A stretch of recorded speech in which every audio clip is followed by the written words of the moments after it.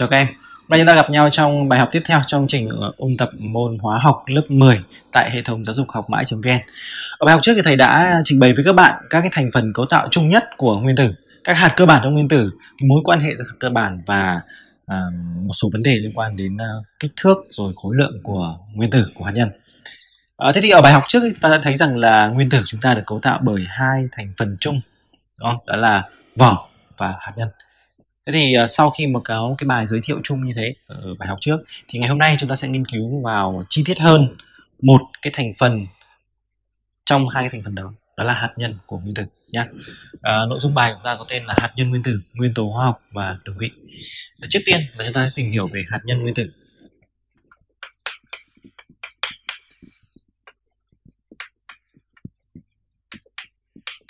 Ở bài trước thì ta biết rằng là hạt nhân của nguyên tử thì cũng không có quá nhiều điều để mà nói, đúng không? Bởi vì không gian của nó nó nhỏ hơn nhiều so với cả vỏ. Cho nên là người ta sẽ không phân tích đến sự chuyển động của các hạt à, vân vân, mà người ta chủ yếu nói về thành phần của nó thôi. Nếu bạn biết là về thành phần ấy thì nó gồm có hai loại hạt cơ bản.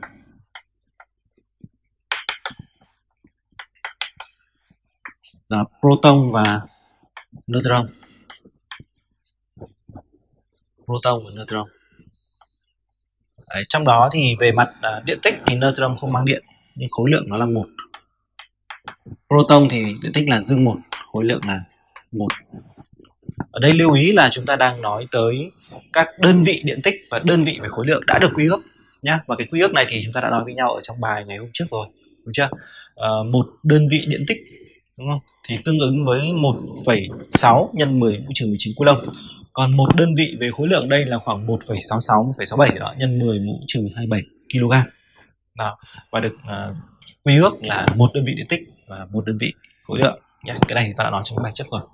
Thế thì ở đây nhìn vào hai thông số này ta thấy là nổi bật lên hai vấn đề hai khía cạnh. Một là đặc trưng về khối lượng và hai là đặc trưng về điện tích. Thì bạn thấy ngay rằng rõ ràng là neutron thì không mang điện còn proton mang điện tích dương thì chứng tỏ là hạt nhân của chúng ta thì sẽ mang điện điện dương. Đúng chưa? Đó là vấn đề thứ nhất. Và thứ hai là gì? Do electron có khối lượng không đáng kể. Cái này chúng ta đã nói trong bài trước rồi. Cho nên toàn bộ khối lượng nguyên tử tập trung hết vào trong hạt nhân và do cả hai loại hạt cơ bản này gây ra. Đấy, đấy là một số cái nhận xét của chúng ta ở đây. Đấy, thứ nhất là hạt nhân thì mang điện tích dương.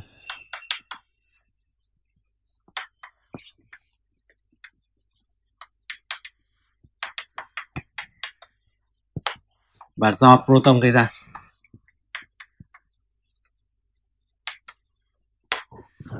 Dạ. Còn ý thứ hai là gì? À, khối lượng của hạt nhân hay là hạt nhân thì tập trung toàn bộ khối lượng nguyên tử. Hầu hết khối lượng nguyên tử.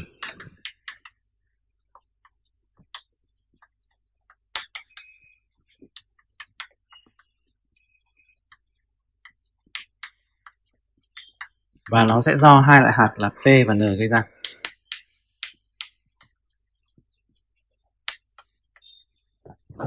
Được chưa? Cũng chính vì thế mà chúng ta sẽ có hai cái thông số đặc trưng mà người ta có thể nhắc tới trong các bài tập, có thể là bài tập liên quan đến hạt cơ bản luôn. Một là gì? Chúng ta có điện tích hạt nhân.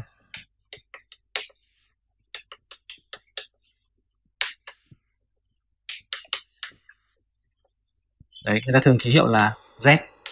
Như chúng ta vừa nói, điện tích của hạt nhân thì hạt nhân mang điện tích dương và do proton gây ra. Cho nên điện tích hạt nhân đây thì sẽ bằng với số proton tất nhiên là về mặt giá trị nhá, thì nó sẽ bằng luôn số electron. Vì p bằng e bằng nhau trong nguyên tử từ trung hòa điện. Thứ hai là cái đại lượng, một cái đại lượng đặc trưng cho khối lượng. Ở trên thì người ta có đại lượng đặc trưng điện tích là điện tích hạt nhân. Có đại lượng đặc trưng cho khối lượng, người ta gọi là số khối. Ký hiệu là a, tính bằng p cộng n. Đấy, thì đấy là hai cái đại lượng đặc trưng cho hạt nhân của nguyên tử. Và những cái đại lượng này thì như thầy nói là chúng ta có thể thấy xuất hiện trong một số các bài tập uh, tính thành phần hạt cơ bản của nguyên tử. Ở bài trước thì chúng ta cũng đã có bài tập tính số hạt cơ bản nguyên tử rồi nhưng khi đó chúng ta chủ yếu nói về tổng số hạt này, số hạt mang điện số hạt không mang điện. Còn trong trường này thì có thể xuất hiện thêm các đại lượng điện tích hạt nhân hoặc là số khối. Nhé chúng ta thể lấy một cái ví dụ cụ thể như này. Chúng ta bắt đầu từ ví dụ thứ nhất như này. Ở đây trong nguyên tử nguyên tố x có tổng số hạt cơ bản là 52 và số khối là 35 hỏi điện tích hạt nhân của x là bao nhiêu Đấy, thì chúng thấy là đây bài tập rất là cơ bản, rất đơn giản. Đi xác định hạt cơ bản của nguyên tử trong đó người ta cho chúng ta hai thông tin, hai số liệu. Một là tổng số hạt cơ bản là 52, thứ hai là số khối là 35. Như vậy thì chúng ta chỉ cần giải hệ hai phì hai ẩn là chúng ta sẽ xác định được các hạt cơ bản ở trong này. Chẳng qua là ở đây ấy, thì thầy có đưa vào đúng không các cái đại lượng mà chúng ta vừa mới học vừa nhắc tới đó là số khối, đó là điện tích hạt nhân. Một khi chúng ta có khái niệm rồi đúng không? thì rất là đơn giản. Chúng ta cứ tìm được các hạt cơ bản thôi là chúng ta sẽ suy được. Đấy, thì hạt nhân nó là gì? Số khối nó là cái gì? Rồi và các bạn hãy thử dừng hình video nhé các bạn làm trước sau đó so sánh phần chữa thầy. Vì về cơ bản nó không khác gì bài tập chúng ta đã làm hôm trước. Đây như thầy nói đấy là chúng ta có ba loại hạt cơ bản. Thế nhưng p và e vốn bằng nhau rồi. Cho nên là chúng ta chỉ cần dùng hai ẩn để biểu diễn ba hạt đấy thôi. Và với hai ẩn có hai phương trình giải hệ là sẽ ra. À, tổng số hạt cơ bản của nguyên tố x là p cộng e cộng n. Nhưng do p bằng e ta hay viết là 2p cộng n. Chưa? Bằng 52 đó là sự kiện thứ nhất. Sự kiện thứ hai là số khối. Số khối là gì? Số khối là tổng của p cộng n. Ta vừa nói điều này rồi. Bằng 35 như vậy dễ thấy ngay. Dễ thấy ngay. À, hiệu của hai cái này chính là p và nó bằng 17 và bạn biết rồi điện tích hạt nhân là bằng số P. Đúng không? điện tích dương của hạt nhân bằng số P. Do đó đáp số chúng ta sẽ là Z bằng 17 đó đúng là C. Thế còn việc tìm N trong trường này thì không còn quan trọng nữa.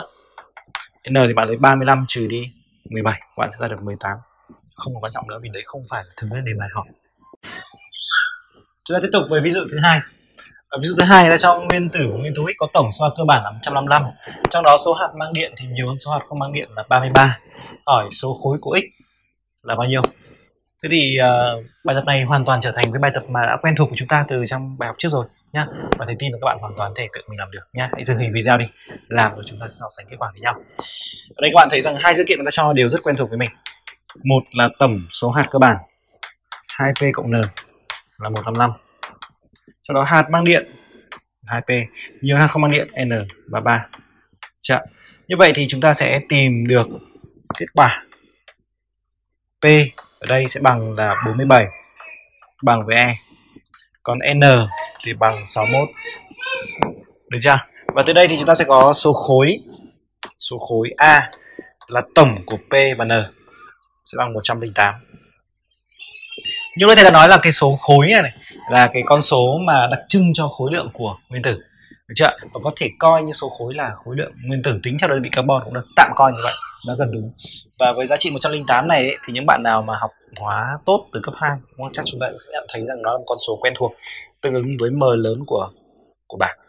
Được chưa và các bạn có thể tra một vài thông tin của nó ở trong bảng tuần hoàn chúng ta thấy là có mối quan hệ với cái số 47 và 61 chúng ta vừa nêu chúng ta cũng chuyển tiếp sang nội dung thứ hai của bài nó nói về nguyên tố hóa học. Đấy, chúng ta nhớ rằng nguyên tố này nguyên tử phân tử là những khái niệm mà có sự phân biệt với nhau. Và cái này chúng ta đã học từ lớp 8 rồi đúng không? Ở trong chương trình lớp 8 thì chúng ta cũng đã biết đến định nghĩa về nguyên tố hóa học rồi.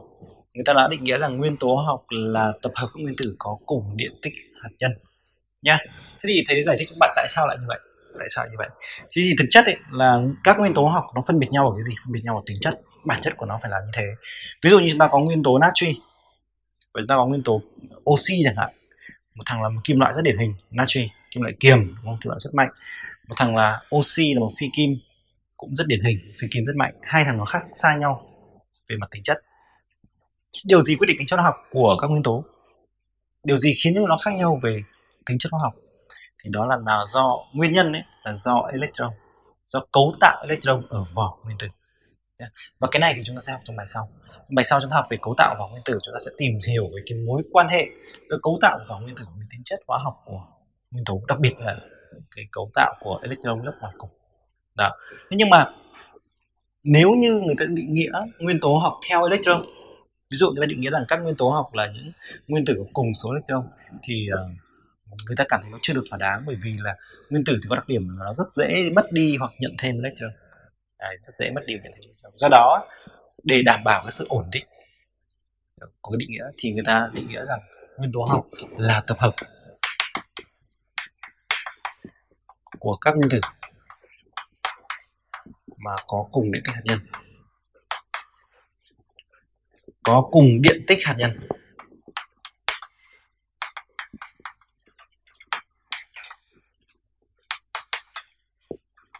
Cùng cái hạt nhân tức là cùng Z. Và các bạn biết rồi Z thì bằng số proton. Và số proton thì lại bằng với số electron.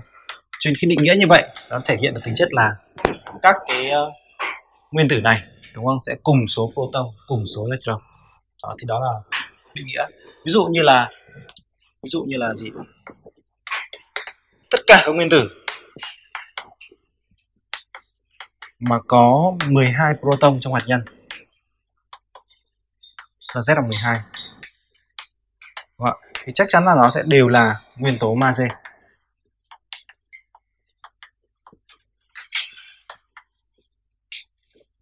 Đấy, hoặc là tất cả các nguyên tử mà có 47 proton trong hạt nhân hay Z bằng 47 thì nó sẽ đều là nguyên tố bảo. Vừa rồi trong cái ví dụ thứ hai ấy, thầy còn nói các bạn là chúng ta hãy thử tìm về cái ô cái vị trí của bạc ở trong bài tuần hoàn xem là à, các con số 47, 61, 108 nó được thể hiện như thế nào. Đúng chưa? Thì chắc là các bạn xem qua rồi đúng không? Và chúng ta sẽ thấy rằng à, để thể hiện được à, ký hiệu của các cái nguyên tử nguyên tố ở trong mặt tuần hoàn thì nó có nguyên tắc nó có nguyên tắc nó có cái công thức biểu diễn chung một cái mẫu một cái hình mẫu chung và cái hình mẫu đó thì chúng ta sẽ uh, thể hiện nó ở đây. Người ta gọi nó là ký hiệu của nguyên tử.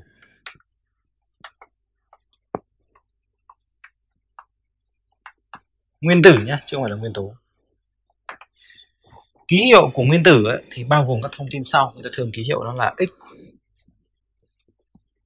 X. Z. A z viết phía dưới a viết phía trên. X z a.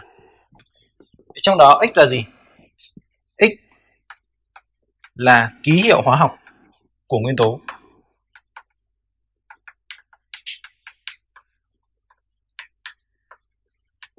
Là ký hiệu hóa học của nguyên tố và nó thường là gồm một hai hoặc cá biệt có một số trường hợp ít thôi. Là ba chữ cái đầu tiên. Một hai hoặc ba chữ cái đầu tiên.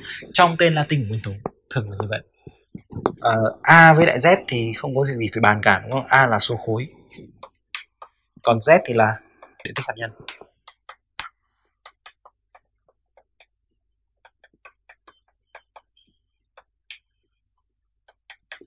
Thế thì trong cái ký hiệu này nó đã thể hiện đầy đủ thành phần hạt cơ bản của nguyên tử rồi. Đấy, các bạn thấy như này. Z thì bằng gì? Z thì như ta biết là nó bằng P và sẽ bằng E. Còn A thì sẽ bằng là P cộng N.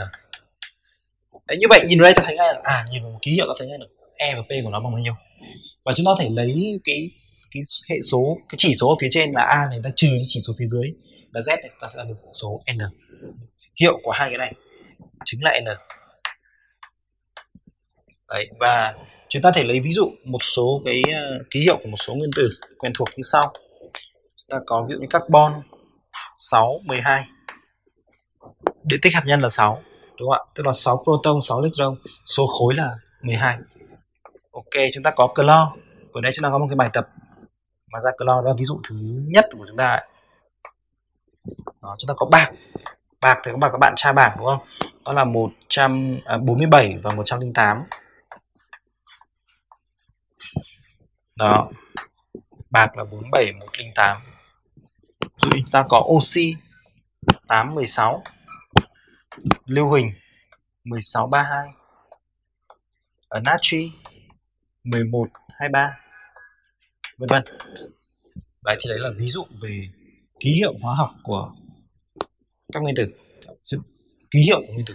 Và như thầy đã nói đấy là cái ký hiệu nguyên tử này nó thể hiện rõ luôn thành phần hạt cơ bản của nguyên tử nhé và chúng ta có thể lấy một cái ví dụ cụ thể như này chúng ta có hai ví dụ ở đây như này. Một và cả hai thì đều thầy đều thầy đều thể hiện dưới dạng là câu hỏi trắc nghiệm nhé. Chúng ta nhớ rằng là à, cái môn hóa học của chúng ta thì nó đã triển khai thi trắc nghiệm được 10 năm nay rồi hơn 10 năm nay rồi. Và đề thi trung học quốc gia của chúng ta chắc chắn là đề thi trắc nghiệm. Vì vậy chúng ta ờ, ngay từ bây giờ nó từ lớp 10 chúng ta phải làm quen với việc giải quyết câu hỏi trắc nghiệm. Thay vì là chúng ta chỉ làm câu hỏi tự luận. Tất nhiên là trên lớp thì có thể các thầy cô có một số trường, các thầy cô vẫn ờ, cho chúng ta làm bài tập tự luận. Nhưng thầy tin là thế nào cũng có sự pha trộn với các câu hỏi trắc nghiệm theo một tỷ lệ nhất định nào đó. Và thậm chí là có những trường đã chuyển hoàn toàn sang trắc nghiệm rồi. Cho nên đây thì thầy cũng sẽ hướng tới cái việc là chúng ta sẽ ờ, đan xen cả tự luận và trắc nghiệm nhưng sẽ ưu tiên trắc nghiệm hơn. Ok, ở ví dụ thứ nhất này người ta cho số proton và neutron có trong một nguyên tử sắt, Fe 2656 lần lượt là bao nhiêu?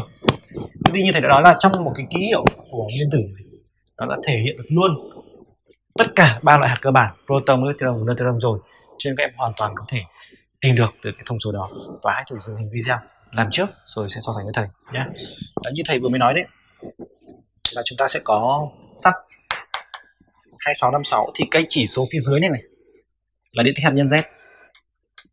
Z đúng không và sẽ bằng P bằng E bằng P bằng N. còn cái chỉ số phía trên là số khối, nó sẽ bằng P cộng N. Và hiệu của hai thằng này sẽ là số N. Thế N là 56 trừ 26 bằng 30 như vậy đáp số chúng ta sẽ là gì ạ? Chúng ta hỏi là chúng ta là số proton và neutron là được là sẽ là 26 và 30 vậy thì đáp án đúng của chúng ta ở trong trường này sẽ đáp án C. Rất dễ dàng rất dễ dàng. Ở câu thứ hai người ta hỏi là nguyên tử có cùng số neutron với nguyên tử kali 1939 là nguyên tử nào? Đấy, thì trong trường này thì chúng ta sẽ phải đi kiểm tra từng thằng. Vấn đề mình phải hiểu rõ nhé là có cùng số neutron. Đấy, nhiều bạn bị hiểu sai các bạn bị nhầm lẫn giữa việc là cùng số neutron với cùng số khối các bạn nhìn thằng này 39 bạn bị hấp dẫn với hai này thì sẽ không được. Mà hơn nữa thực ra đáp án đúng trong trắc nghiệm thì nó chỉ có một thôi à, đúng trong trắc nghiệm chỉ có một tôi không thể nói b đúng và c cũng đúng được nếu như em nhìn một con số 39 vì vậy trên trong trường này à, chúng ta phải hiểu rõ là người ta đang hỏi các nguyên tử có cùng số neutron nhé và hãy dừng hình video đi làm trước rồi so sánh với thầy. Ở đây thì chúng ta sẽ phải vừa tìm số neutron của kali sẽ nó bằng bao nhiêu và đi tìm số neutron của các nguyên tử còn lại sẽ nó bằng bao nhiêu biết là nó có bằng nhau hay không. Thì bạn thấy đây đối với thằng kali này chúng ta lấy à, uh, neutron đúng không? Neutron thì bằng số khối trừ đi điện hạt nhân tức là 39 trừ 19 n đấy nó bằng 20 ta đi kiểm tra các nguyên tố còn lại mà người ta cho.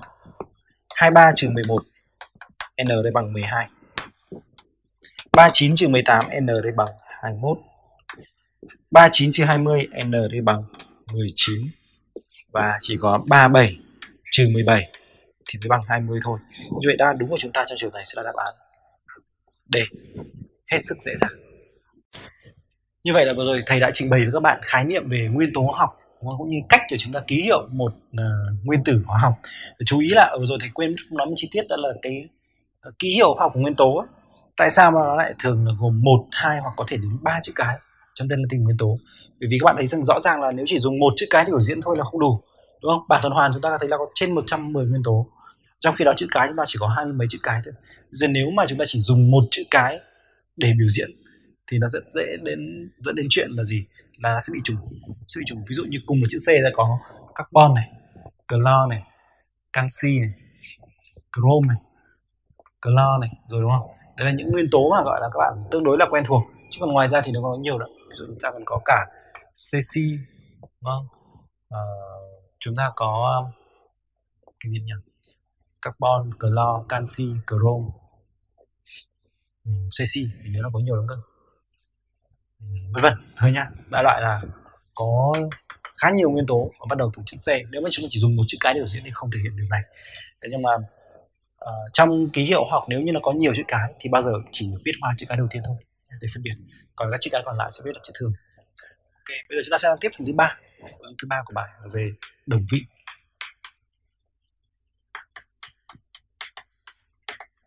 Đồng vị là cái gì? Thực ra là cái tên đã phản ánh được các, điểm của đồng vị rồi. Nhưng mà muốn vậy chúng ta phải hiểu rõ đồng vị này, nó vốn là một từ gốc hán việt. Đấy, chúng ta có một đặc điểm đấy là uh, lịch sử dân tộc của chúng ta là có hàng nghìn năm là bắc thuộc tức là một là một phần của trung quốc.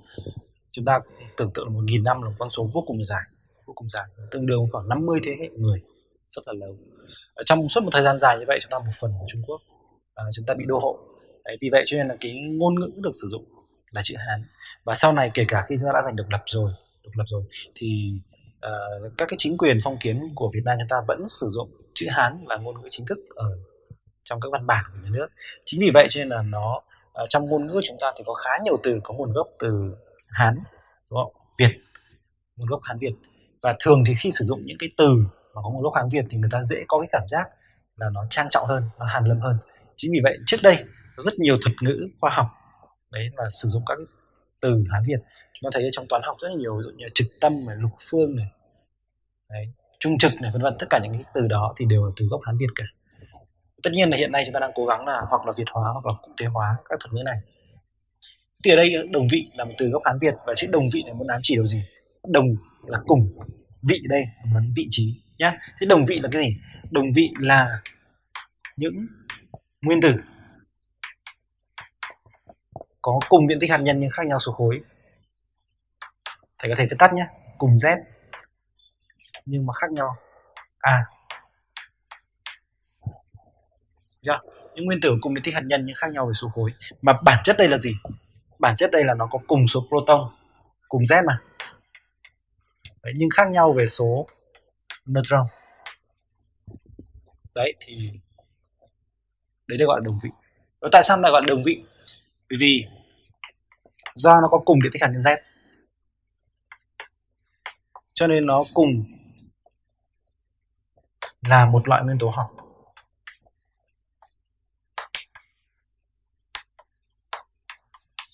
Cùng loại nguyên tố học.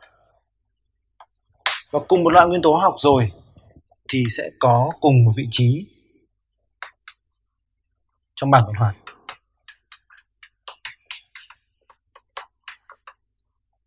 Vì trong bảng tuần hoàn của chúng ta mỗi một nguyên tố sẽ chiếm một vị trí xác định trong bảng.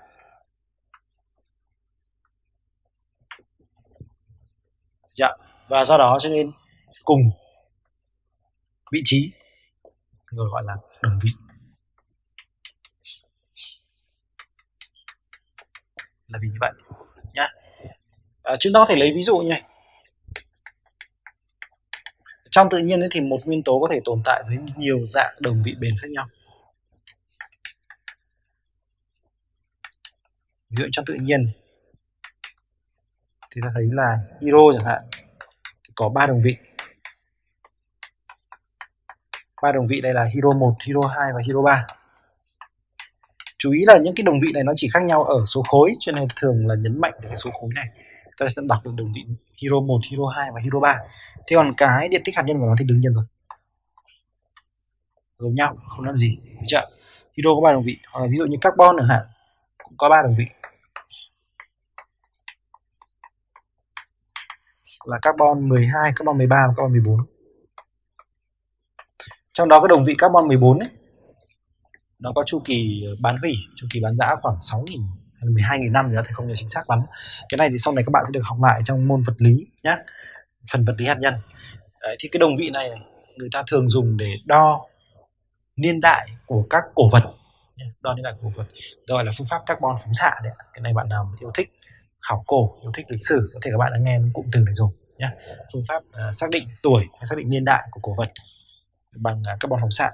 Đó thế thì đấy là một vài trường hợp mà nó có các đồng vị bền ở trong tự nhiên thế thì chúng ta nhận thấy một điều là như này. À, đối với các đồng vị thì nó cùng nhau điện tích hạt nhân z này. Dạ, và cái con số điện tích hạt nhân này này chính là số thứ tự của ô nguyên tố ở trong bảng tuần hoàn. Ví dụ như trong bảng tuần hoàn thì các bạn thấy carbon là ô số 6 hydro số 1 dạ, vân vân. Với các trường hợp khác cũng thế. Mỗi một nguyên tố có một vị trí xác định trong bảng. Cho nên mới gọi là trong bọn này mới gọi là đồng vị. Tuy nhiên ấy, chúng ta nhận thấy là số khối thì nó lại không giống nhau ví carbon bây giờ là có 12, 13, 14 tuy nếu mà biểu diễn trong bảng tuần hoàn nó sẽ biểu diễn như thế nào? Thì các bạn sẽ nhận thấy rằng là trong bảng tuần hoàn của nguyên tố chúng ta thì hầu hết các số khối là đập gần thể hiện trên bảng đều những số này số thập phân là này. Có nhiều lý do cho việc này. Thứ nhất là có thể người ta sẽ tính cả khối lượng electron vào dù nó nhỏ thôi.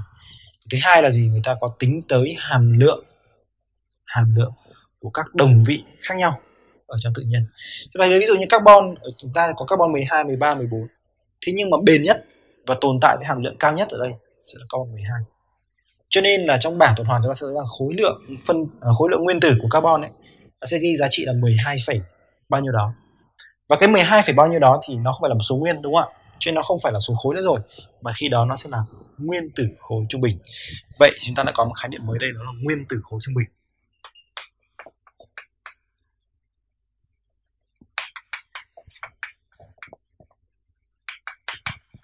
Đó thì viết tắt là NTK nguyên tử khối trung bình. Thế thì nguyên tử khối trung bình là cái gì? Nguyên tử khối trung bình của một nguyên tố.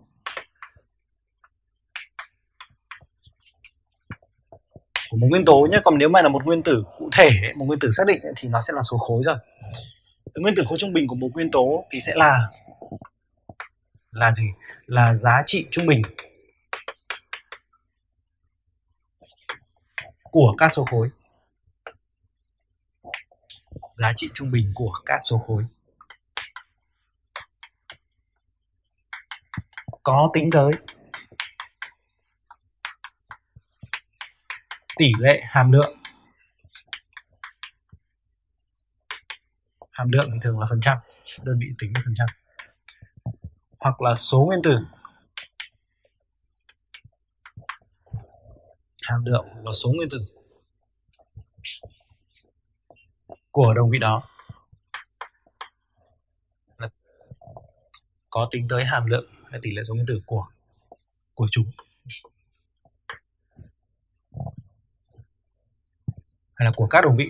Nói thế cho chính xác nhé của các đồng vị. Có trong tự nhiên.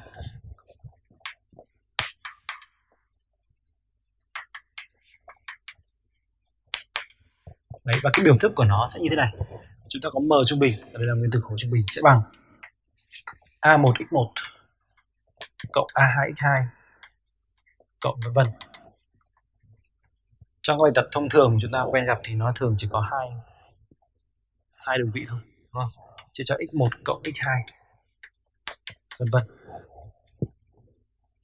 Trong đó trong đó a1 2 3 vân vân là gì? Là số khối.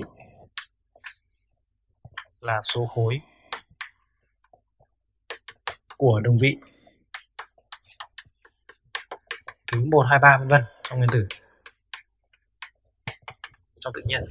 Số khối đồng vị thứ 1 2 3 trong tự nhiên. Thế còn x1 2 3 4 vân vân, thì là hàm lượng phần trăm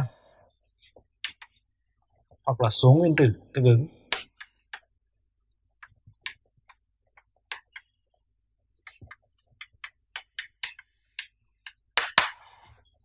Được chưa? Chúng ta thể lấy một cái ví dụ cụ thể như này. Ví dụ là trong tự nhiên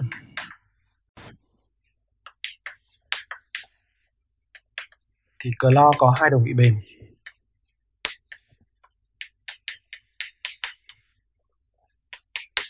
Có hai đồng vị bền. Trong đó thì clo 35 chiếm khoảng 75% và clo 37 chiếm khoảng 25%. Chúng ta thấy rằng là trong các bài tập từ xưa đến nay chúng ta làm không bao giờ chúng ta biểu diễn m lớn của clo là 35 hay clo là 37 được. Chúng ta thường viết là 35,5 đúng không ạ? Thế thì con số 35,5 đấy ở đâu ra? Con số 35,5 đấy chính là nguyên tử khối trung bình của clo.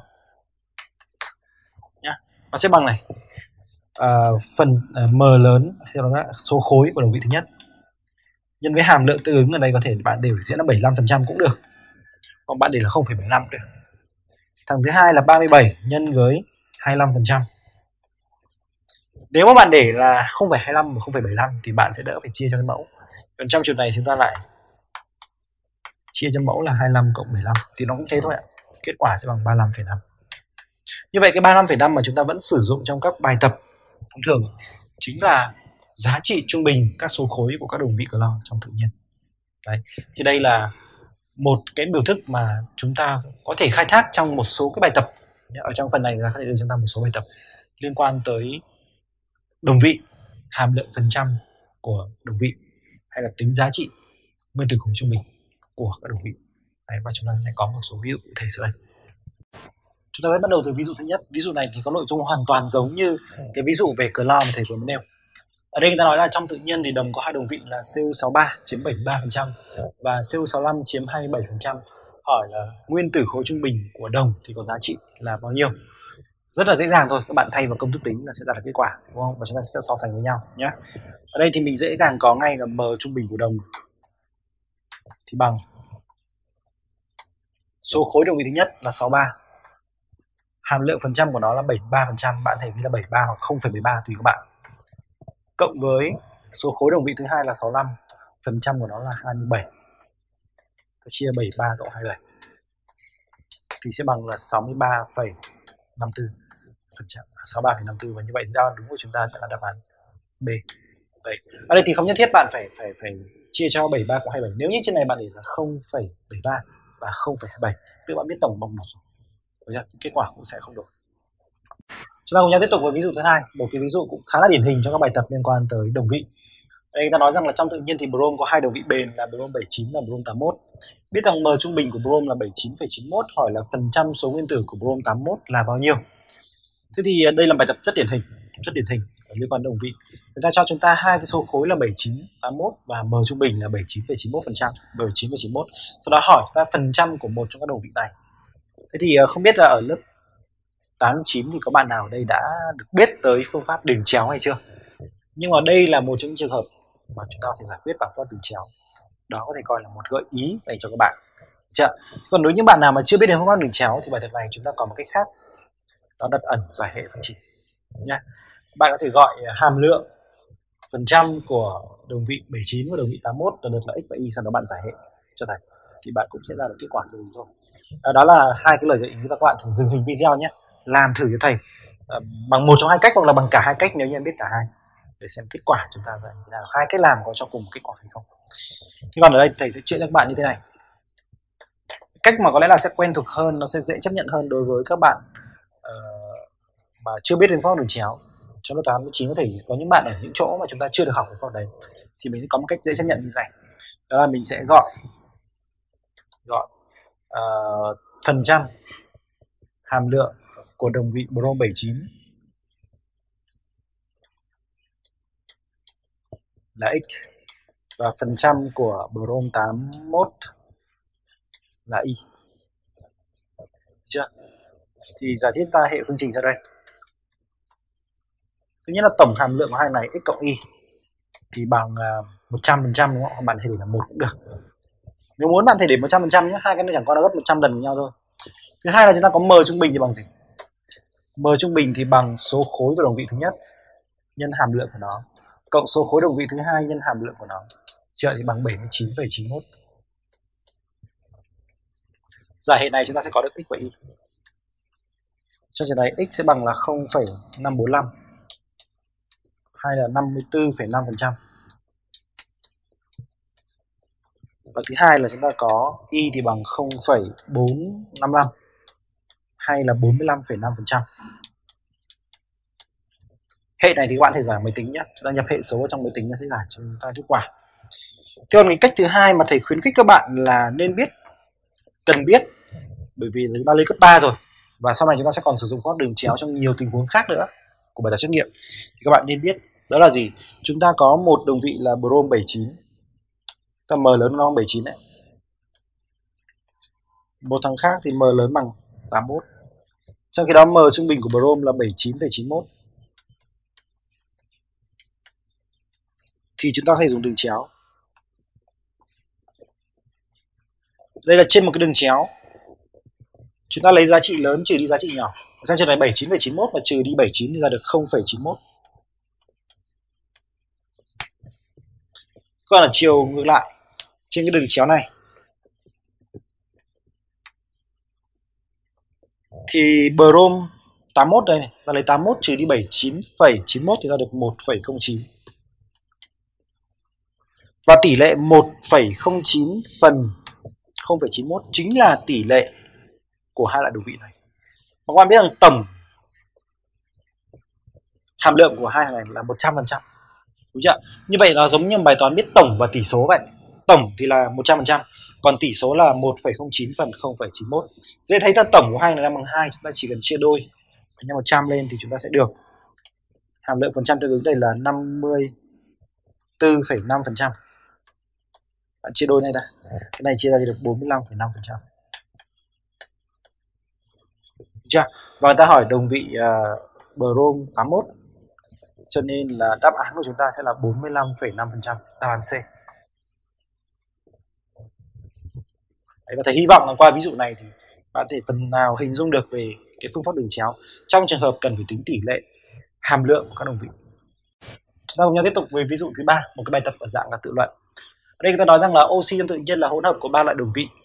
À, trong đó có đến 99,757% là oxy 16 0,039% là oxy 17 0,204% là oxy 18 yêu cầu là tính số nguyên tử của mỗi loại đơn vị khi có một nguyên tử oxy 17 thì trong trường này các bạn thấy là mọi chuyện rất đơn giản thôi đúng không?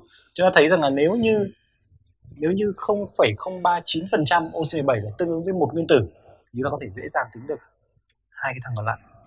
Xem nó gấp bao nhiêu lần của cái 0,039% đó nhá. Chúng ta thấy rằng là lời giải của mình sẽ là như sau này khi mà có một nguyên tử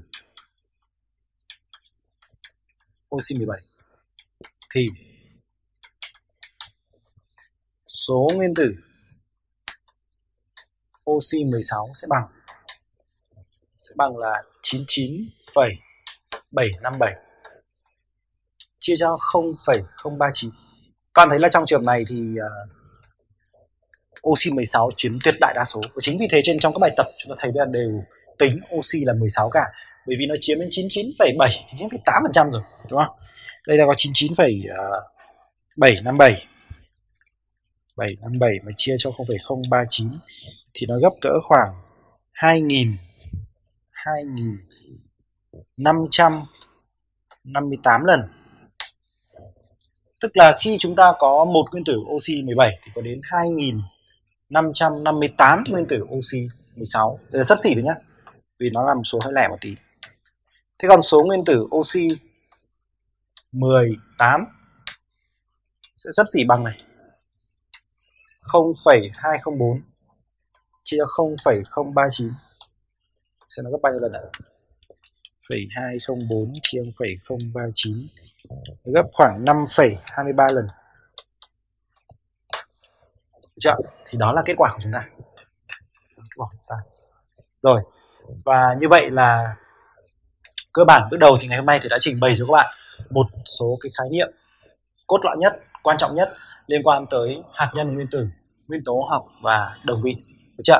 Và hy vọng rằng là những cái ví dụ mà thầy đưa cho các bạn ngày hôm nay nó giúp chúng ta có thể hiểu rõ hơn các cái nội dung lý thuyết tôi đã học cũng như là giúp các bạn phần nào giải quyết định vấn đề của bạn gặp phải trong quá trình giải toán ở trên lớp.